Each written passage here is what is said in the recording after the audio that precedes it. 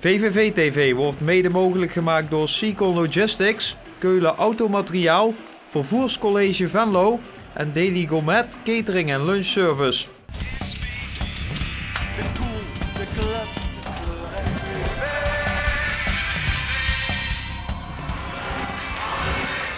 Misschien uh, moeten we wat uh, mindere wedstrijd spelen, dat we daar punten pakken. Niels Reuzeler blikt vooruit op de ontmoeting met Excelsior. Verder praten we met nieuweling Josimar Lima en jongeling Simon Jansen, die ook met de top 3 aan de slag gaat. Maar nu eerst terug naar de laatste wedstrijd, Groningen-VVV.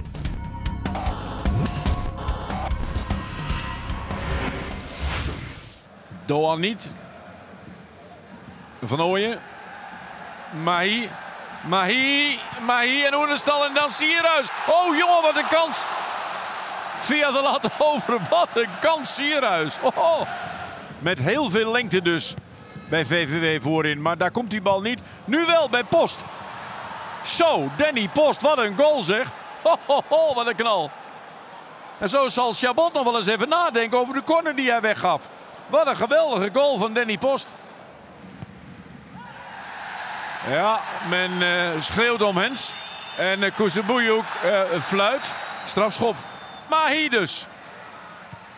Boom, 1-1.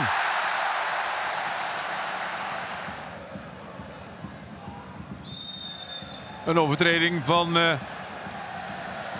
Rutte en die krijgt geel. En we gaan nog uh, kijken naar de actie van Rutte dan kennelijk. Ja, hij is de sigaar. Geel wordt rood. Groningen wil tempo maken. Wil nog uh, voor de rust de knock-out uitdelen. Sierhuis! Ho, weer de lat. De tweede keer al van die spits. Handwerker. Handwerker. Ja, dat is ook een penalty.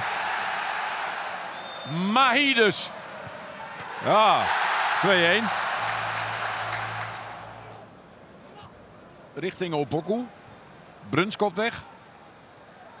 Dit is een mogelijkheid voor Mlappa. Dit is een mogelijkheid voor Mlappa. Wat heet en dan is het 2-2. De man die schuldig was aan de tweede penalty. Haalt nu zijn gram. En schiet de gelijkmaker er binnen. Zoontjes. Opoku weer. Opoku, het zal toch niet waar zijn? Het zal toch niet waar zijn? Nee. Eerst Joosten en daarna Mlappa. Bellassani. Ah, lekker schot en een goal ook. Wat een mooie goal van Bellassani. Loepzuiver. Doan krijgt een schop. Post. Doan krijgt nog een keer geel en krijgt dus nu rood. Groningen trekt de winst over de streep. En zo doet Groningen uitstekende zaken in 2019. En gaat het nu over VVW heen op de ranglijst.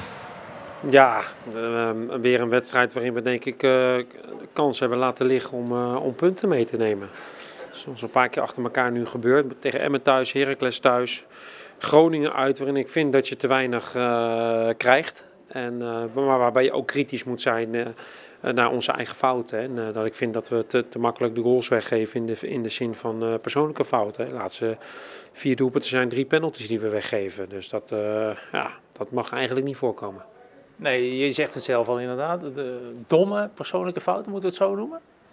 Nou ja, domme persoonlijke fouten. En iedereen weet uh, voor zich dat je van elkaar af moet blijven. En uh, uh, dat het, dat het super streng beoordeeld wordt. Nou ja, dat, dat is een gegeven. Dus daar moet je, met die omstandigheden moet je omgaan. Dus ja, daar moet je een aantal dingen beter doen. En dat, en dat weten de spelers. Want ze zijn zelf schuldbewust. Hebben zelf ook allemaal aangegeven. Ja, niet handig wat we gedaan hebben. Dus dat is al heel belangrijk. Dat, dat je... Dat je die discussie niet hoeft te voeren. Het is allemaal overduidelijk. Maar uh, ja, ze trekken het boetekleed aan. En uh, ik hoop dat dat zaterdag beter gaat. Ja, dan heb je het ook over pech die, die je hebt dan. de manier waarop de scheidsrechters en, en de VAR daar naar kijken, denk ik. Ja, daarin ben je denk ik ook twee keer ongelukkig geweest. Hè? De wedstrijd tegen Heracles ja, was natuurlijk, uh, denk ook dat wij daar een penalty hadden moeten krijgen. En, uh, dat hebben we niet gekregen. Ja, en ik denk ook dat het moment met Moreno heel ongelukkig is. Uh, scheidsrechter geeft in eerste instantie een gele kaart, die staat er bovenop. En ik denk ook terecht. ongelukkig, maar niet meer dan dat. Zeker Moreno kennen niet. Ja, als je dan uiteindelijk teruggeroepen wordt door de VAR en uh, met rood wordt bestraft, ja, vind ik dat we wel ongelukkig zijn geweest met, uh, met, met die beslissingen. Feit is wel dat de andere twee penalties wel terecht waren, dus daar, daar kan ik niks van zeggen. Alleen ja, het moment van Moreno vond ik wel, vond ik wel ongelukkig, ja. Daarom ook dat jullie niet akkoord gaan met het schikkingsvoorstel? Ja, ja. Ik vind als je alles afweegt en normaal is voet op voet is geel. En dat zei de scheidsrechter ook heel duidelijk. Hij heeft het ook eh, geconstateerd, gaf geel. Nou, eh, Groningen spelers protesteerden ook bijvoorbeeld niet. Hè. Moreno zei gelijk, oké, sorry, het was te laat, maar totaal niet de intentie om iemand te blesseren. Nou, dat vinden wij, uh, vonden al de eerste de, rode kaart niet terecht. Ja, dan had ik gehoopt dat de KNVB had gezegd dat ze hem in zouden trekken, maar dat hebben ze niet gedaan. En ja, dan, dan krijg je ook nog drie wedstrijden schorsing, waarvan één voorwaardelijk. Dus ja, dat vinden wij niet terecht gezien de aard van de overtreding en daardoor gaan we in beroep. Vanavond komt de terugcommissie bij elkaar en wordt duidelijk welke schorsing Rutte kan verwachten. De wedstrijd tegen Groningen was de eerste echte zonder de lang geblesseerde Gerald Promes. Zeker een gemis voor zijn maatje in het hart van de verdediging. Ja, uh, maar ja, die missen we allemaal. Uh, ik denk uh, Gerald ligt gewoon heel goed in, in de ploeg. Um, iedereen kan heel goed met hem opschieten. Ja, hij is een van de leiders van het elftal uh, de laatste jaren geweest. En ja, het, het doet natuurlijk met iedereen wel wat um, als zo'n jongen gewoon uh, uitvalt. En dan ook nog met, uh, op zo'n manier. Hoe is het nu met hem? Kun je er iets over zeggen? Heb jij ja, regelmatig contact met hem? Um, ja, het gaat, wel, het gaat wel wat beter nu weer. De operatie verliep goed. En uh, ja, het is nu wel vervelend voor hem omdat hij best lang niet moet liggen en nog, niet, nog zijn benen niet kan belasten. Um, ja, het is dan wel wat saai thuis, denk ik. Voor hem, maar jullie hebben wel contact op een bepaalde manier? Ja, we hebben wel contact met hem. Um, dat zouden we natuurlijk ook houden. hij blijft gewoon, gewoon onderdeel van het elftal, ook al is het er niet bij.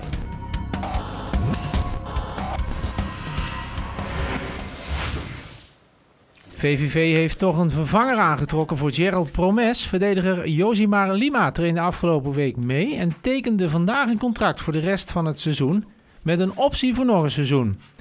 Stijn is blij met de komst van de 29-jarige speler die na een avontuur in Finland zonder club zat. Ja, eh, zeker in de aantallen. En, uh, ik, uh, ik kende Josimar uit zijn periode van Dordrecht en Emmen. En is gewoon een fysiek sterke, robuuste verdediger. Die, ja, die weet ook wat zijn rol is als hij hier komt. Hè. De jongens die nu spelen, die doen het gewoon goed. Maar ja, dat, dat de EIN moet gewoon zorgen dat de concurrentie scherp blijft. En als ik hem nodig heb, moet hij er staan. Dat heb ik met hem doorgesproken. En dat wil hij graag. Nou, en als dat van beide kanten bevalt, dan, ja, dan zit er ook een langere samenwerking in. Dus wat dat betreft ben ik blij dat hij is aangesloten. En hoe ben ik hier terechtgekomen? Ja, ik zag dat uh, Promes ernstig geblesseerd raakte. En toen... heb je gebeld? nee, ik heb, ik heb niet gebeld. Ik heb niet gebeld. Toen had ik, uh, ik ken Danny Post uh, goed van het verleden. Dus daar heb ik een beetje contact mee gehad. En een paar dagen later werd ik gebeld. Dus zodoende. Volgens mij val je wel goed in de groep al, of niet? Ja, ja zijn, zijn leuke jongens. Ik ken er ook een aantal van, van het tegenspelen in het verleden. Ja, ken je, ken je wat jongens van deze groep? Ja, ik heb met Danny Post samen gespeeld twee jaar lang. En de rest ken ik natuurlijk van, van de tegenspeler, dus uh, dat ging wel makkelijk. Ja, wat ben jij voor speler? Ja, ik ben een uh, fysieke centrale verdediger, kopsterk. ik weet goed wat, wat ik kan en ook zeker goed wat ik niet kan. Dus gewoon een down-to-earth verdediger en mijn taken uitvoeren. En, dat past denk ik wel bij VVV. Waarom pas jij goed in dit team, denk je? Ja, ik denk dat de meeste jongens hier gewoon een beetje zoals mij zijn. Gewoon normaal, grote, fysiek sterke jongens. Dat ben ik zelf ook. Dus ik denk op dat gebied dat ik goed bij pas. En ook uh, qua karakter pas ik denk ik goed bij de jongens. ik ben maandag ook mee geweest carnavallen met hun. Terwijl ik een paar jongens maar pas twee dagen kende. En het, het, voelde, gewoon, het voelde gewoon goed. Ook met, met de staf en de mensen eromheen. Dus ik denk dat mijn, ja, dat mijn karakter ook hier goed bij past. Dus ja, dat. Nou, wat, wat verwacht je? Ik verwacht dat we eerst uh, binnen nu en uh, drie wedstrijden veilig zijn. Gewoon punten pakken, dat we naar boven kunnen kijken. En ik ga gewoon uh, keihard trainen. En gewoon kijken wat, wat ik eruit kan halen. En ja, dat, dat is nu het korte termijn doel voor mij. Maar een knokken voor een basisplaats, is dat het? Ja, natuurlijk. Het moet wel een beetje meezitten natuurlijk in, in zo'n geval als je laat aansluit. Maar ik ga gewoon keihard trainen en als de trainer me nodig heeft, dan zal ik er staan. Lima speelde voor het Finse FC Lati bij Emmen, El Shaab in de Verenigde Arabische Emiraten, FC Dordrecht en Willem II.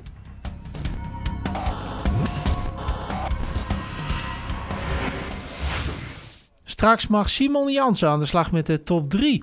De jonge Blerikenaar kent een mooi seizoen. Op de dag dat hij 18 jaar werd, debuteerde hij voor VVV in de bekerwedstrijd tegen Westlandia. De linksbenige middenvelder maakte vervolgens zijn competitiedebuut voor 40.000 toeschouwers in de Kuip tegen Feyenoord. Ja, dit is zeker een mooi seizoen. Ik uh, train iedere dag eigenlijk hier bij het eerste. Daarbij speel ik meestal de wedstrijden bij de onder 19. Dus op, ik kom nog aan mijn speelminuten en uh, ja, daar kan je nog veel van, van leren van die speelminuten. Dus voor mij is het tot nu toe een mooi seizoen en uh, ik hoop dat het zo doorgaat. Heel even terug toch naar, naar dat laatste moment, je competitiedebuut. Ja, hoe was dat? Kun je dat nog eens beschrijven? Ja, dat was natuurlijk het, het mooiste van mij tot nu toe in mijn uh, ja, voetbalcarrière. Dat is nog kort, maar het was natuurlijk het mooiste moment tot nu toe. Uit in de Kuip, 40.000 man. Is toch wel wat anders dan hier bij Vos aan de overkant uh, voetballen. Dus ik vond het een uh, heel mooi moment. Ja, hoe, hoe, werd dat moment ingeluid? Ja, je krijgt op een gegeven moment te horen dat je mag gaan invallen. Hoe, hoe gaat dat? Ja, van tevoren kwamen we erachter dat er veel zieken en geblesseerden waren. En toen mocht Evert Linters starten in de basis. En dan ja, zit er toch misschien een klein kansje in tot je in mag vallen. En dan krijg je te horen dat je mag warm lopen. En dan weet je dat je erin komt. En dan uh, maak je je debuut in de Kuip. Dat is wel een mooi moment. Nou, dat moment heb je al gehad. Kunnen ze je niet meer afpakken. Uh, wat voor momenten gaan er nog komen verder voor jou? Ja, dat weet ik nu nog niet. Ik hoop dat ik, uh, ja, volgend seizoen sluit ik dus aan bij het eerste hier. En dan hoop ik dat ja, ik dit seizoen misschien nog meer minuten mag gaan maken. En dan uh, hoop ik op een mooie, mooie vervolg volgend jaar en een uh, mooie carrière. Is dat wel nog steeds als amateur volgend seizoen? Dat weet ik nog niet, daar zijn we nu uh, mee bezig. Dus, dat ik dacht misschien hebben we de primeur dat je contract gaat tekenen. nee, dat weet ik nog is niet. Is nog te vroeg? Is nog te vroeg. Dus we gaan zien wat er gaat komen. Ja, andere doelen heb je dit seizoen natuurlijk ook nog wel. Ik denk met onder 19, volgende week mooi affiche voor de beker kwartfinale tegen PSV. Dat is ook een mooi moment, denk ik. Ja, zeker. Ik, heb er, ik kijk er heel erg naar uit. Ik, uh, in de kwartfinale tegen PSV hier uh, thuis. Dus eigenlijk beter kan het niet. En nu zorg ik dat we de halve finale bereiken. Dus daar heb ik wel zin in.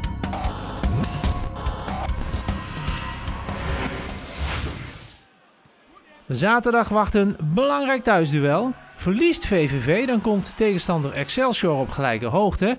En is de kans groot dat de Venlonaren zakken naar plaats 12?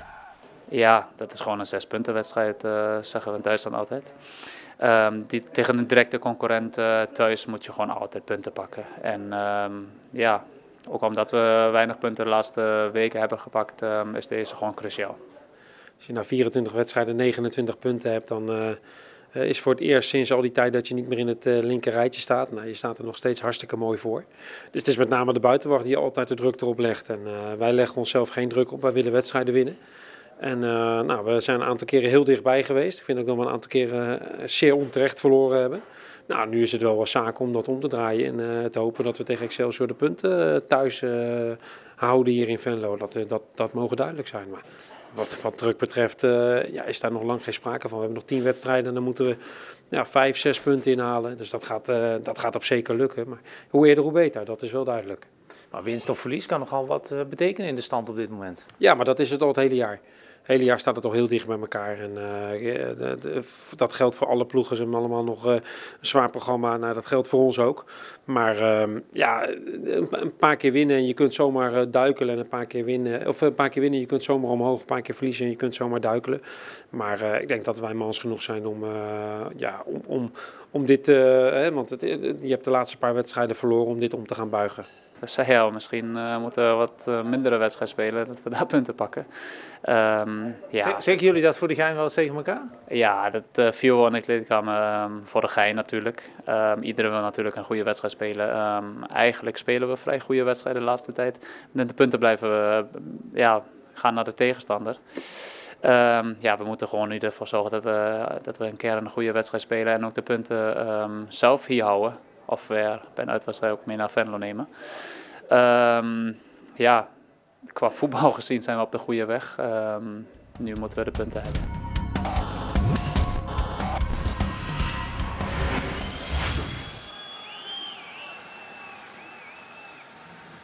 Zoekt weer de ruimte om zelf uit te halen. Oh! Ja, bij die eerste had je nog het gevoel, daar zit wel heel veel geluk bij. Van richting veranderd. Wat doet Swinkels nou precies? Dan kan je een hoop vraagtekens zetten bij wat ADO daar allemaal doet. Geen vraagtekens nodig. Dit is een werelddoelpunt.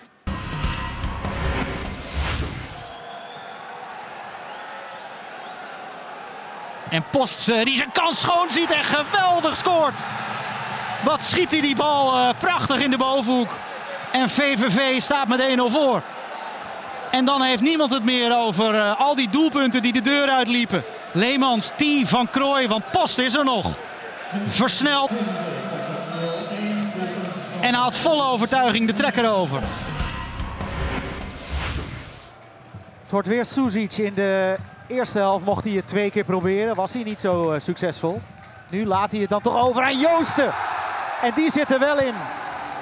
En dan staat het uh, 2-0 voor VVV. Prachtige vrije trap van Patrick Joosten. Dit is de top 3 van VVV. Simon Jansen is dus deze week aan de beurt een nieuw fragment erin te zetten. Maar eerst moet er één uit. Ja, je weet het wel. Je weet, weet je ook welke eruit gaat? niet eruit halen, hè? Nee, joh. Deze is beter, deze is beter. Ja, Simon, uh, was het toeval? Danny kwam voorbij. Heeft dat te maken met jouw keuze straks? Ja, ik denk het wel. Uh, hij weet al welke erin gaat. Ja, de goal van Danny Pos gaat natuurlijk in de 0-1 tegen Groningen. Maar daarbij haal ik wel de 0-1 van Danny Pos uit bij Willem II haal ik eruit. Nou, waarom? Omdat ik deze uit bij Groningen toch net iets mooier vond. Dus dan zet ik hem toch erin. En twee keer Danny Pos is te veel? Ja, dat is net iets te veel. Nee, nee, grapje, nee. Ik denk, uh, deze vond ik gewoon net iets mooier, dan haal ik deze eruit. En, uh, of uh, deze zet ik erin en de andere uit bij Willem II haal ik eruit. Met heel veel lengte dus bij VVW voorin, maar daar komt die bal niet. Nu wel bij Post. Zo, Danny Post, wat een goal zeg. Ho, ho, ho, wat een knal. En zo zal Chabot nog wel eens even nadenken over de corner die hij weggaf. Wat een geweldige goal van Danny Post. VVV TV wordt mede mogelijk gemaakt door Seacon Logistics, Keulen Automateriaal, Vervoerscollege Venlo en Daily Gourmet Catering en Lunch Service.